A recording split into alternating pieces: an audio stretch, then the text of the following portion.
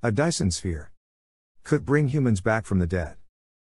Researchers say a megastructure called a Dyson sphere will provide a super intelligent artificial agent, AI, with the enormous amounts of power it needs to collect as much historical and personal data about you. So it can rebuild your exact digital copy. Once it's finished, you'll live your whole life, again, in a simulated reality. And when the time comes for you to die again, you'll be transported into a simulated afterlife.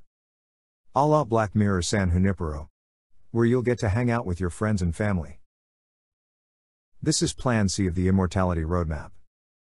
A project on which Russian transhumanist, and life extensionist Alexey Turchin has been working since 2014.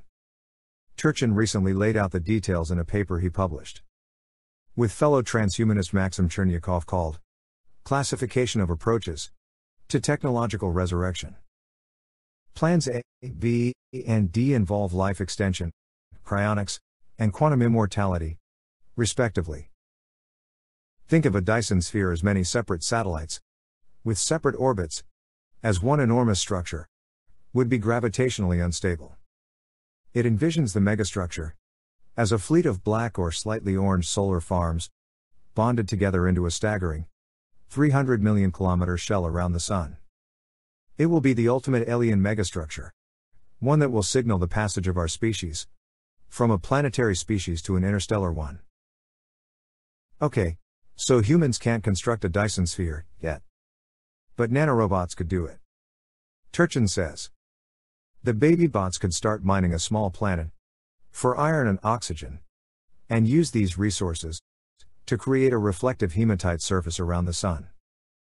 Turchin's plan C for immortality can't bring humans back in the way Abrahamic religions, which encompass the concept of a soul, can. But with the help of a colossally big Dyson sphere and friendly AIs, digital resurrection is the next best thing. He says. Think about the end of your life. And what might happen next? There are two possible outcomes.